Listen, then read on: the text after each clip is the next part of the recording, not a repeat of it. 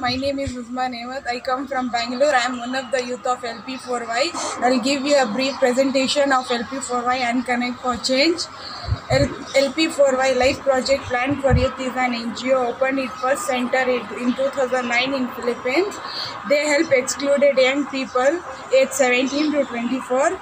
Our pedagogy is based on three pillars: LPM, Life Project Money, and MEI Micro Initiative microeconomic initiative and PTE professional training for entrepreneurs.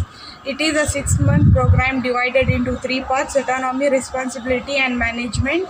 There are three steps because in each step we will learn different skill and know how to become independent and motivated professional and to reach our goals and find a decent job in a decent job every day in our center we do projects and tasks we, we take care about uh, MEI and we get motivated and we get confidence by doing our projects and tasks. We learn how to take initiative. In connect for change it, that is MEI and it is objective is to provide the computer training to the community around the center here it is uh, easier to find a job when when we have computer skills. The training is for excluded women from 17 years old and we motivate to find a decent job before we used to give uh, two trainings in a center in a week. And now we have improved and more people wants to join come come in our training so we decided to give a training in a week twice a time It is important to give training on digital technologies because it is useful for both professional and personal life.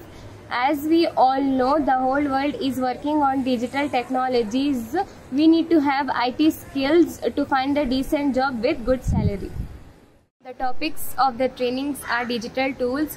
We will teach them the basics of computers. We will teach them how to create an email account from Gmail and how to send a message. And also, we will teach them how to write a letter in MS Word and how to create a spreadsheet in Excel. For me, everything we teach is important. In our society, there are discrimination between men and women. For example, men can study and go for work, but women does not have rights to be independent. Here, women have low access to technologies. That's why the beneficiary of the trainees are women of community. It is good for community to receive this training because in DJ Halli there is no other low cost trainings and some people are uh, suffering from financial problems. By giving trainees to community, I learned how to manage the team and time.